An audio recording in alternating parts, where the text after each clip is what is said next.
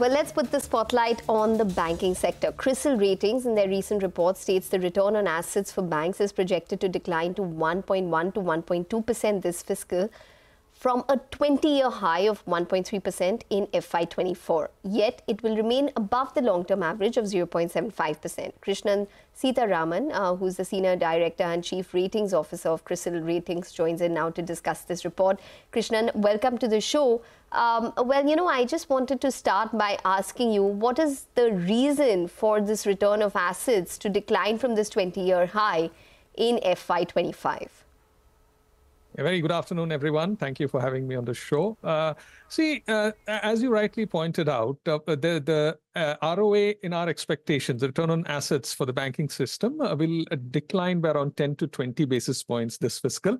Uh, that said, it will still be well above uh, the 10 year average or the five year average, whichever way you want to look at it. Now, uh, the, the, the key reason here is the fact that deposits of the Indian banking system, they are gradually repricing themselves. Uh, usually what happens is when interest rates change, either moving up or coming down, deposits reprice with a lag, uh, which, is, which means that, which is because uh, only the incremental deposits or the deposits which get renewed, those get repriced at the newer rates, while the older deposits deposits continue to uh, be contracted at the same rate uh, till they mature. Whereas on the lending book, when interest rates go up, the floating rates go up uh, uh, almost instantaneously. So uh, the when interest rates go up, the lending uh, book reprices upwards. Deposit rates remains where it is. So when interest rates go up, the profitability of banks go up, goes up. Now what we are seeing is the deposit rates are catching up. So deposit rates uh, increases are building up into the cost of uh, borrowings, which is meaning that the NIMs, net interest margins, they will come down by around 10 to 20 basis points, which will translate into the return on assets metric. The other angle that we need to keep in mind is the credit costs. Credit costs in the banking system have been coming down steadily from around 2.5% uh, in FY18 to around 0.6, 0.5% in FY24. Uh, we don't believe there is much headroom for that to come down further. So uh, credit costs coming down also benefits the profitability. And the credit costs have been coming down because the asset quality of the banks have been improving. Uh, GNPAs, uh, gross NPAs, have come down from around 11.2% as of March 18 to around 2.7% March 24. We expect some more uh, decline in uh, NPA in the current fiscal. But credit costs, not much room to go down below. So not much offset to the impact on net interest margins coming down. Hence, uh, profitability will come down a shade to around uh, 1.1%. Still, uh, it'll be well above the historical average. Right, we take your point that you know there is downside risk to return on assets. Uh, just to press that a little further, because hmm. you expect NIMS to contract by about 10 to 20 basis points, deposits deposit cost to increase by about 25 to 30 basis points and some increase in credit costs as well. So why is it that then your estimates of ROA decline are limited to just 10 to 20 basis points? Cases in this scenario, it could decline by well over 40, 50 basis points in some cases. Uh, why is, is there an upside risk to the decline in uh, ROAs? No, so uh, uh, thanks for the query. Uh, actually, credit cost is not going to go up. It will marginally come down, but not much headroom for to come down materially. That's what I was saying. Maybe five bips uh, it could come down uh, this fiscal, as we believe NPAs will continue uh, to come down. it's 2.7% as of March 24, may come down to around 2.5%. Not much headroom to come down further. So credit cost, marginal decline. The other thing that you pointed about is about the deposit costs uh, going up. Deposit cost uh, uh, will go up. that said, we we are expecting interest rates in the environment to actually come down in this from the second half of this fiscal. So some element of that impact would also get captured into the overall the net interest margin scenario. The other thing we need to keep in mind is the denominators of the deposits and the loan books are not similar. And while deposit incremental deposit rates may uh, uh, have uh, we we see those rates having been plateaued more or less. Uh, so what what we talk about when we talk about deposit costs going up is the co- stock cost of deposits, whereas the incremental deposit rates may not go up much further from here. So it's an interplay of all these factors. It's not uh, such a simple translation about uh, NIMS uh, into ROA.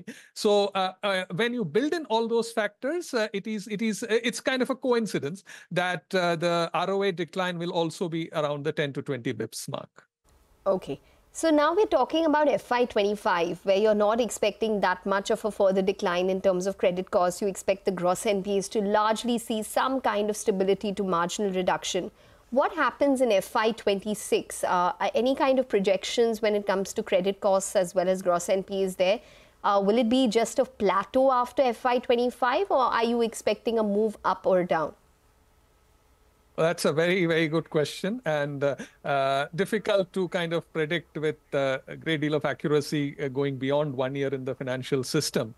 Uh, but what I will uh, talk about is the trend line that we have seen on the asset quality or NPAs. NPAs in the banking system have followed a cyclical path. There will be periods of time where it will go up and then periods of time which where it will come down. But one thing what we have seen years is that the amplitude of the peaks of the NPAs that has been coming down. What I mean to say is in the upcycle of NPAs in the mid 90s, uh, in 1994 or so, the highest level of gross NPAs was close to 25%. Whereas if you see the last upcycle of NPAs, March 18 to 2018, there the high peak level of NPAs was 11.2%. So while the cycle of NPAs will come down and NPAs will come down and go up, but the peaks of the NPAs are steadily coming down because of the structural improvements that we see in the banking system. Recently, we have the IBC coming on board, underwriting systems, risk assessment mechanisms have improved. So we do believe that uh, in time, this uh, uh, coming down of NPAs will hit a trough and then NPAs will start uh, going up again. But uh, uh, the peak when it reaches, my firm belief is it will be below the 11.2% that we saw in March 18, uh, while the cycle uh, will continue. So one area where we need to watch out for is the retail uh, segment, how uh, the asset quality pans out. Uh, we are seeing some, uh, I would say, monitorables as far as the unsecured loans, especially the low ticket, small ticket unsecured loans are concerned.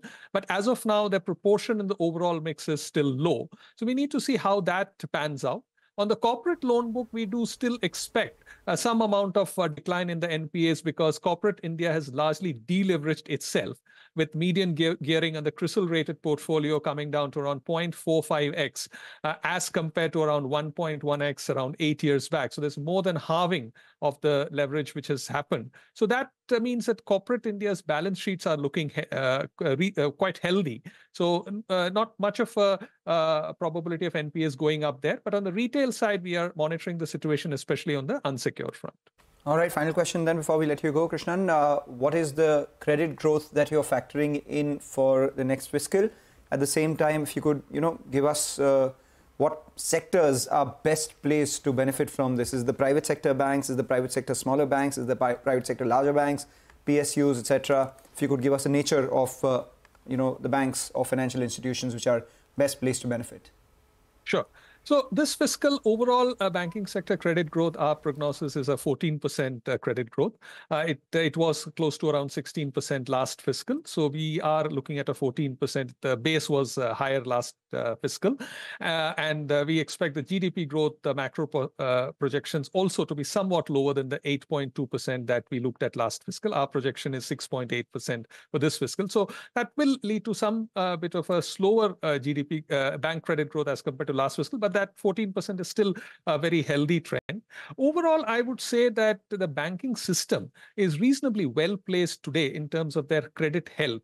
I look at the three core parameters, which I call as the ACE, ACE, that is asset quality, capitalization, and earnings. On all those fronts, if I look at the past uh, trend, uh, we see that on all these parameters, uh, banks are uh, quite well placed. And if we look at uh, the standalone profile in terms of either asset quality or capital adequacy or earnings, we see the private banks are somewhat better then the large private banks are looking better than the public sector banks. But the public sector banks have are showing in terms of an improvement. The improvement trajectory uh, is better in the public sector banks. So we see overall the large private banks, the credit growth should be higher uh, than the systemic average. Uh, public sector banks will be ca- catching up there. One of the key monitorables uh, we need to also look at is how the deposit growth will pan out. What we have been seeing in the last, uh, say, one and a half uh, years or so is that the deposit growth has been lagging the credit growth. Uh, but there has been some pickup uh, recently as interest rates have uh, gone up. So deposit growth is an area which needs to keep up for the credit growth uh, to to uh, kind of be at uh, these levels. All right. Okay. All right, Krishnan. We're going to leave it on that note. Pleasure speaking with you. Thanks very much for joining in and giving us that analysis on the banking space. We need to move uh, now.